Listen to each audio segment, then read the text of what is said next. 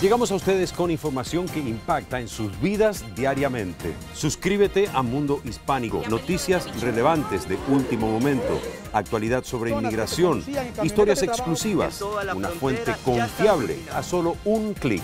Suscríbete, lo que necesitas saber. Vamos en vivo.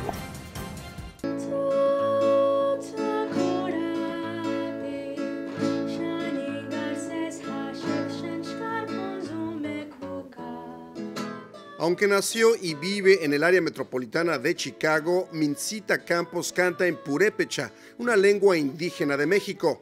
Conoce perfectamente sus raíces culturales. Sus padres son indígenas purépechas de Cheranástico o Cúspide de Arena, un poblado del municipio de Paracho, Michoacán. Y a sus 14 años dice que no quiere perder su cultura. Es muy interesante y cómo la historia en cómo todo empezó pero también porque es, lo llevo en mi sangre. Así como ella, hay decenas de niños en Blue Island, Illinois, participando en actividades artísticas purépechas en casas como esta, donde se reúnen semanalmente para cantar y bailar. En otras palabras, yo bailo y canto para que no se acaben nuestras culturas. A los niños también les enseñan la lengua con libros traídos de México. Los adultos se comunican como lo hacían allá en Cheranástico.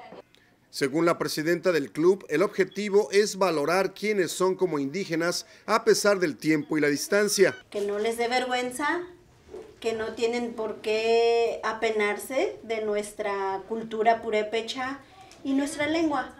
Y sabe que a mí me gusta mucho nuestra lengua purépecha porque no existe ni una sola palabra mala.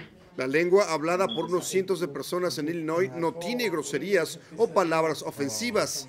A los primeros purépechas que llegaron al área de Chicago les costó mucho trabajo adaptarse. Al principio sí me afectó porque no había nadie con quien platicar, no había nadie con quien... Ah, se sentía uno solo. Pero ahora como va pasado el tiempo, entonces ya hay mucha, mucha más gente de allá. Gente que ahora también ha traído sus artesanías. Y gracias a estas actividades, el Club Purépecha Haropiri se hace cada vez más grande y su cultura más fuerte de este lado de la frontera con México. Otros hablan inglés, otros hablan español, otros hablan japonés, chino. A nosotros nos hizo purépechas. ¿Y por qué nos va a dar vergüenza de algo que Dios ha creado? Desde Chicago, Enrique García Fuentes, Mundo Hispánico.